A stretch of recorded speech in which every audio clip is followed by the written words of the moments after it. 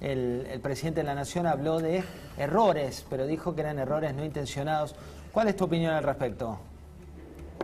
No, mi opinión al respecto es lo primero, que estamos frente a una crisis como la que describen, pero acompañada de una pérdida del valor de la palabra del presidente, que tiene un deterioro inmenso, y con este último acto casi ridículo hoy de querer convertirse en militante de la JP de los 70, de la que nunca fue, ¿no?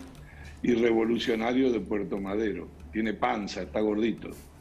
Pero de cualquier manera, creo que el gobierno se puede haber equivocado, como otros gobiernos, ¿no? La pandemia, no conocer, pero este gobierno se caracterizó por pegar tres bofetadas morales descomunales, que estará la memoria de los argentinos, que le ha quebrado todo el esfuerzo. La primera fue los vacunatorios VIP, obviamente. Cualquiera podría haber pensado que si se le murió un familiar y tenía una cuña, entraba por la puerta del costado. La segunda, agarrar la educación como parte de una batalla política. Los alumnos de Cava eran vectores de la muerte. Los de Gildo Infran te entregaban vida. Y la tercera, esta última, que prácticamente Después de 32 hechos de violencia institucional, en Córdoba murió Blas con un tiro por la espalda. El padre de Solange no la pudo ver y vio que se moría y tenía cáncer y viajaba en auto desde Neuquén. Pero a la misma hora se comía asado en olivo, no había ningún tipo de problema. Eso se llama impunidad.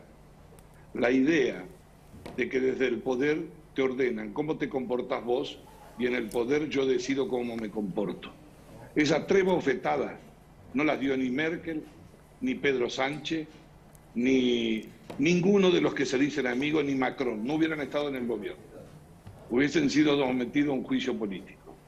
Porque lo que le han hecho a la sociedad es quebrarle las posibilidades de confianza y de esperanza. Y un presidente, en un momento de crisis, es el que debe decir dónde está el rumbo, hacia dónde vamos, te guste o no te guste. Y el presidente nos ha dejado en alta mar. Entonces, yo creo que estamos frente a un problema mucho más grave con los números que ustedes dieron, con lo que acabamos de saber que hizo el Banco Central hoy. ¿Se acuerdan cuando decía yo entre los jubilados y los bancos elijo los jubilados? Con las LELIC lo que le voy a pagar es el aumento a los jubilados. Van 20 mil millones de dólares en LELIC. Con una tasa del 34 y 35%. Se convirtió en un surero. Y además de eso, han pagado de intereses 750 mil millones de pesos. Si hubiera cumplido su promesa, de dárselo a los jubilados, que por supuesto era bastante inviable, estarían cobrando la mínima por lo menos en 40 mil pesos. Mario, lo que quiero significar. Le una consulta, porque digo, lo que está planteando es un poco la, agenda de la gente y uno ve la última, los últimos días de campaña de, Juntos o, de Cambiemos, depende de la localidad en la cual se desempeñan, y se ve mucho debate de, parece, de, interna o de ego, de, de cosas. No, yo no me prendo. ¿Qué, ¿Qué, opina de lo que pasó en Juntos por el Cambio? No, yo no me prendo en eso. Yo primero creo que Junto por el Cambio no es una Ferrari que todo el mundo quiere subir. Lo que sucede es que la sociedad necesita que se ponga equilibrio frente al desequilibrio, frente al atropello. Y Junto por el Cambio, que gobernó y que cometió errores y tuvo aciertos y que perdimos con el pasado, no con el futuro, es la única herramienta que la sociedad tiene hoy. No es de los dirigentes, es de la sociedad, para depositarle la confianza Primero para frenar y en el acto pensar el futuro, corrigiendo los errores. Ahora, si algún dirigente piensa que la energía podría estar puesta en el 2023, debatir no tiene nada de malo, discutir tampoco, es democrático. El tema es que hay un hilo muy delgado. Es la primera vez que los debates dentro de una fuerza política o una coalición son en pandemia, no lo conocíamos ya. Y la gente se levanta. Ahora, ahora tienen que ser científicos, no saben qué vacuna se ponen, con cuál se la cruzan, cuál es la que le viene, nada. Y además están una silla eléctrica, porque no saben si tienen trabajo, no saben de qué van a vivir. Todo vale mil pesos en la Argentina y el peso no vale nada.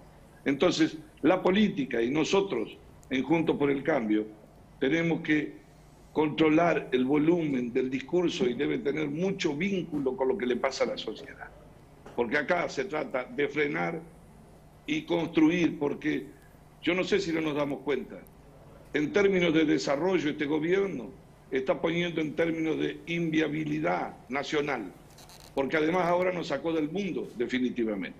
Ni siquiera las políticas de prestigio como eran las de derechos humanos. Es más, se pueden violar un poquito los derechos humanos como en Venezuela, o un maridaje como el de Nicaragua puede hacer lo que quiera. Mientras tanto, como decía Rogelio, o como decía Lucho recién, que coincido, yo vengo de recorrer hoy toda la provincia de Córdoba, y estoy diciendo Córdoba como Santa Fe. Córdoba es, eh, con el kirchnerismo, es incompatible. Los cordobeses es como el agua y el aceite. Es decir, la idea de más subsidio y menos salario, acá no camina la gente. Se han cerrado 20.000 pymes pequeñas, se le cayeron las persianas y como dice Lucho, te crearon o te volvieron a imponer nuevos impuestos. Y además de eso, cuando el campo, que es lo único que nos quedó para producir algo y venderle, le va un poquito bien a los gringos, le mete la mano al bolsillo. Sí, es una realidad. no, pero además nos mataron y nos han pegado la mitad de la cabeza con la ley de biocombustible, donde acá en el mundo exportábamos mil millones de dólares, a donde además firmamos el Acuerdo de París y vamos al revés. El corte en Brasil de etanol es de 27% por cada litro de nafta. Y acá se lo metemos más abajo, con el cuento del tío que te hace la cámpora, de que con eso vamos a regular el precio de los combustibles. Es lo mismo, es lo mismo que con el asado de Alberto Fernández. Prohíbo la exportación de carne y la carne sigue subiendo. Mario, muchísimas gracias eh, por, por, esta conversación con nosotros. Eh, un placer que sea parte y ojalá te tengamos pronto aquí en, en nuestros estudios. No, un gusto, pronto voy a estar ahí, pero me interesa más rápido llegar al Senado de la Nación. Yo tengo mucha experiencia, conozco el kirchnerismo de memoria. tengo 150 debates con ellos, nunca me moví de la foto, siempre estuve al frente. Y les digo una cosa, la madriguera donde se construye el pensamiento del populismo está en la casa de Cristina. En la Cámara de Diputados hay que frenar, pero donde hay que discutir las ideas es allá, donde las construyen título ese, ¿eh? La madriguera donde se construye el populismo está en la casa de Cristina. Muchas gracias, Mario. Un gusto, ¿eh? Saludos a todos. Tenemos muchísima información. Nos queda, miren, nos quedan 20 minutos de información. Si vos te querés ir a dormir o algo, no, no te duermas porque hay muchísima data. Vamos a arrancar con encuestas de Jorge. Eh,